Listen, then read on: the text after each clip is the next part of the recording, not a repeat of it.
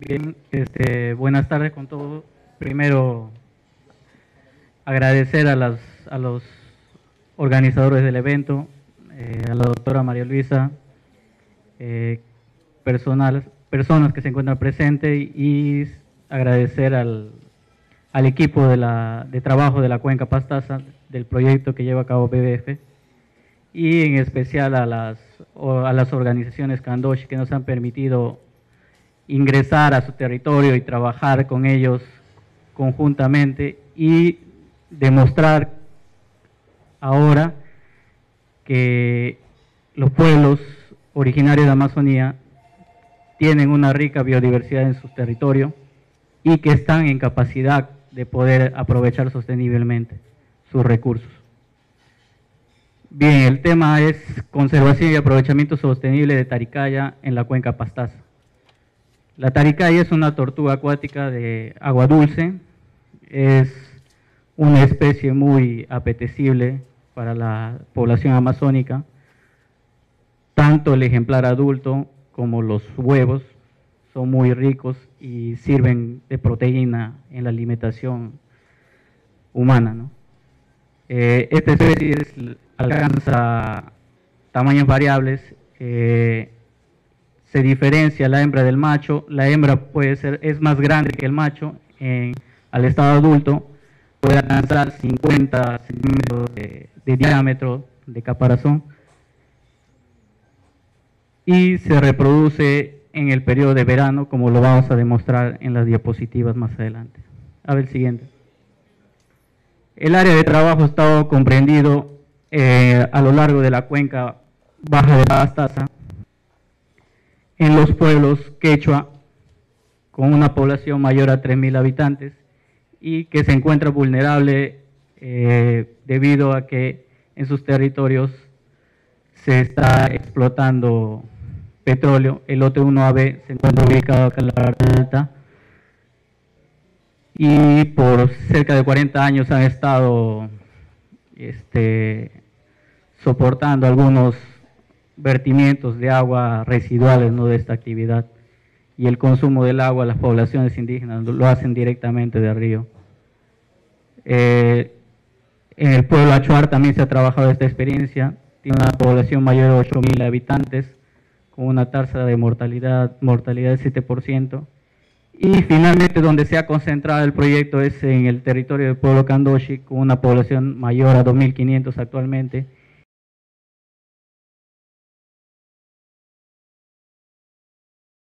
endémica de hepatitis B y hepatitis D y tiene una tasa de mortalidad del 25%. ¿no? Eh, ha afectado drásticamente a su población la hepatitis B y D. Siguiente. ¿Cuál ha sido la problemática que se identifica en la zona? Eh, en los tres pueblos se ha podido encontrar que existe una extracción y comercialización ilegal de, de huevos y crías existe una falta de fiscalización y promoción de la actividad por organismos estatales.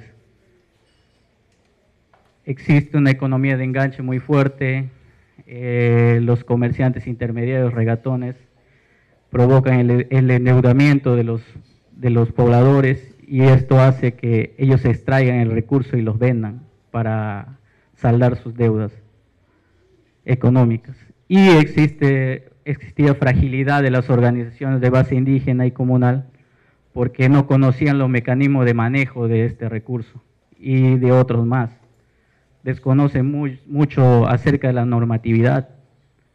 Eh, es muy colosal contarles que en una exposición que tuvimos sobre una evaluación de fauna que hicimos, preguntarles a los kandoshi, exponerles, decirles que el manatí está categorizada en, tal, está en una situación de peligro de extinción, está en el número tal, le decíamos, y los kandoshi nos decían en, en forma grupal, no, acá nuestro territorio no tiene por qué estar en ese número, tiene que estar mucho más arriba porque ahí hay bastante. ¿Quién es la UICN y quién es CITES para ponerle ahí? Cuando acá en nuestro territorio hay en abundancia. Entonces, Eh, todavía existe ese desconocimiento con ellos, pero requiere que, se, que haya ese contacto más con el Estado y puedan aclarar el por qué está en esa categorización a los pueblos indígenas de la zona. Siguiente. Siguiente. Eh, BDF ingresa a trabajar en la cuenca Pastaza el 2003 y la, el 2004, el 2003 ingresa a trabajar con evaluaciones, este, evaluaciones poblacionales de algunos recursos.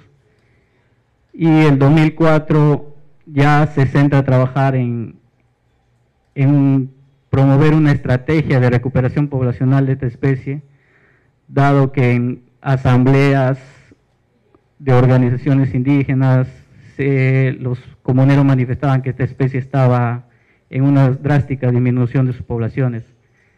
En relación a años anteriores, cada vez era menos las cosechas que hacían, las capturas que realizaban de los ejemplares de esta especie.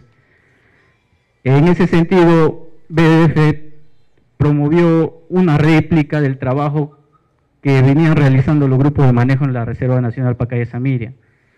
Una estrategia que fue eh, innovadora y cuyo principal este, creador fue el, doctor, el ecologista Pecasoini, y la técnica fue la propagación de crías a través de la instalación de playas artificiales. Para esto se siguieron metodologías de consulta en las comunidades, se presentaban el, cómo se iba a trabajar, el, cómo se iban a instalar las playas, en qué iba a consistir todo el trabajo. Y en un consenso se dejaba a la comunidad si es que aceptaba o no realizar el trabajo. Eh, posteriormente se definían este, responsables de trabajo en cada comunidad seleccionada y se hacía un intercambio o una capacitación viajando a la Reserva Nacional Pacay Samira porque ellos son pioneros en, este trabajo en, playas, en el manejo de playas artificiales de esta especie. Siguiente. Acá algunos resultados del, manejo en, en, los pueblos y se puede observar que desde 2004 al 2010 se han liberado en los territorios de los pueblos indígenas de, la cuenca pastaza, 37.366 crías. Durante el proceso de trabajo se han ido incorporando comunidades que denominamos nosotros mestizas y que se les ha incorporado en, motivar esta, este tema.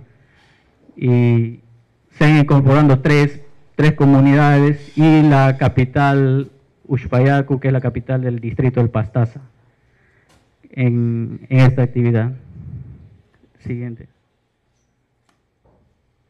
Eh, la, síntesis anual del manejo de taricaya en la cuenca pastaza, eh, el número de crías liberadas por año, los números de niños naturales manejados y número de huevos manejados. Y el éxito de eclosión que ha ido mejorando cada año, se ha iniciado con un bajo éxito de eclosión y se ha ido incrementando y manteniendo en el tiempo. Siguiente. Bueno, ahora el tema central que quería presentarles era la experiencia que se ha tenido este último año de trabajo con la comunidad nativa de Musacarusha, que se encuentra ubicado dentro del territorio comunal del pueblo Kandoshi, como se ve en, la, en el mapa, y ubicado estratégicamente en la desembocadura del, del lago Rimachi. ¿no? Es el lago más grande de Amazonía con aproximadamente 7.700 hectáreas de espejo de agua. Eh, del 2004 al 2010, esta comunidad ha trabajado en el manejo de Taricaya y ha liberado 6.423 crías. El aprovechamiento en este pueblo es realizado por las mujeres. Es algo ya cultural que ellos han venido llevando y en especial esta actividad es realizada por mujeres viudas y jóvenes. Eh, ¿Por qué a las mujeres viudas? Porque ya los esposos que fallecieron por el problema de hepatitis B o D ya no tenían cómo obtener un ingreso económico, porque el varón se dedica a la pesca y si ya no hay el esposo, la mujer cómo va a conseguir el dinero. Entonces las mujeres viudas se dedican al aprovechamiento, vendiendo los nidos ahí en la zona. Y las jóvenes que ya a través de generación, las madres van transmitiendo ese conocimiento de cómo aprovechar la taricaya. Las hijas asumen ese rol ya cuando la madre muere, o las jovencitas también ya se mantienen con este conocimiento, ¿no? sobrinas, primas. El 2001 se decide con la comunidad de Musacarusha dar un paso más a la, a la actividad de manejo. ¿no? Hay que buscar un aprovechamiento, dijimos, porque justamente vimos el ejemplo de Pacay Samira que también vendía sus, sus taricayes. ¿Y por qué no Musacarusha, que ya tenía siete años de haber manejado, recuperando sus poblaciones? Y es en ese sentido que decidimos, en consenso con la comunidad, buscar la formalización de la actividad con un plan de manejo que en octubre de este año ha sido aprobado. El siguiente. El porqué de la formalización. La formalización de la actividad trae beneficios sociales, permite fortalecer los vínculos familiares, y de confianza entre las mujeres kandoshi. Valora la participación de las mujeres en la conservación de este recurso y los conocimientos tradicionales que ellas tienen acerca de su aprovechamiento. Económicos porque mejora los ingresos económicos en relación a la venta informal que ellas han realizado por muchos años atrás. Una señora Kandoshi puede vender en promedio 25 kilos de, de huevo, que hacen un total de 34 nidos. En la zona es comprada 20 soles y tiene un ingreso de 500 soles. Si nosotros formalizamos la actividad, esos 34 nidos, que en promedio son 31 huevos, pueden tener un 80% de éxito de nacimientos y tener al final del manejo 843 crías, con una cuota de 40% ellas podrían vender 337 crías a 3 soles 50, duplicando el valor que informalmente tuvieran al vender los nidos, los, huevos. Entonces hay un buen beneficio económico ahí. Pero es un beneficio numérico como, como estamos viendo. Y ecológicos porque van a contribuir al incremento poblacional de la especie, ¿no? Y la técnica de evaluación combina aspectos del conocimiento tradicional y científico, ¿no? que el ecologista Pekka Soine ya ha establecido en sus investigaciones. Y la actividad no afecta al hábitat natural de la especie. Bueno, siguiente. Pero el proceso de formalización le hemos podido hemos podido observar y palpar, sentirlo conjuntamente con, con las señoras y el grupo de manejo, que es muy tedioso el proceso de formalización de la actividad. Primero, el proceso de formalización inicia con la solicitud de requisitos, requisitos que son una hoja con una serie de términos que hay que cumplir, y también que incluye los términos de referencia del plan de manejo, que es un documento muy complejo para la elaboración de una comunidad. Y dentro de los requisitos también hay muchos que son inaccesibles para una comunidad. Con el apoyo de la institución se ha podido presentar todos estos documentos que ha tenido una duración de enero a marzo, este plan de manejo es presentado ante el Programa Regional de Manejo de Recursos Forestales y de Fauna Silvestre de la región Loreto. Todos estos documentos fueron presentados en abril. Se solicitó, después de la presentación, la inspección ocular. Un inspector de Iquitos tenía que viajar hasta la zona, a hacer la inspección ocular, a verificar que las, están las mujeres organizadas, de dónde se extraen los nidos, y a verificar el acta de, aceptación del plan de manejo. Luego de la inspección, esta inspección ocular prácticamente el trámite ha durado cerca de dos meses y de la inspección ocular ha seguido el, el programa regional de manejo forestal ha tenido que buscar la opinión del Ministerio del Ambiente a través del área de biodiversidad para solicitar la opinión del experto CITES.